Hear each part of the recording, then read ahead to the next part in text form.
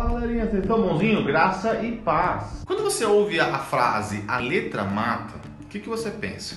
2 Coríntios 3, versículo 6. Vou ler para você rapidinho aqui, peraí. O qual nos habitou para sermos ministros de uma nova aliança, não da letra, mas do Espírito, porque a letra mata, mas o Espírito vivifica. É um texto conhecido, popular, mas uma frase que cabe muito bem antes de qualquer coisa. Texto sem contexto é pretexto.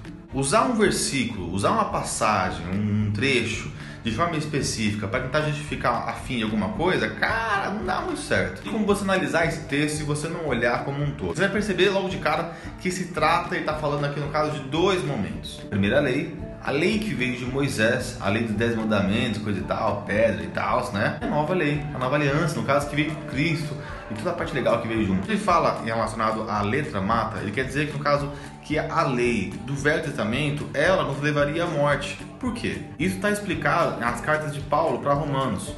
A lei do Velho Testamento, cara, ela só realmente ilustra, ela mostra com clareza que a natureza humana só ia dar em coisa ruim, porque ela mostrava de uma forma muito, muito, muito evidenciada que nós seríamos incapazes de conseguir cumprir a lei, ou seja, nós iríamos desobedecer a Deus, que nos levaria à morte.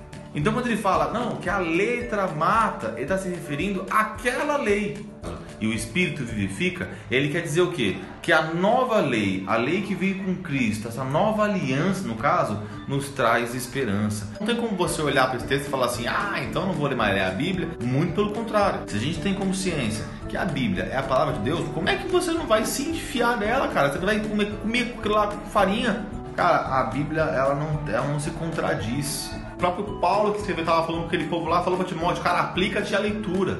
Leia Leia a Bíblia, leia a Bíblia. Você vai viver coisas lindas e maravilhosas com o Senhor. Espero que tenha gostado. Curte, compartilhe, logo mais tem mais. Beijo. Tchau.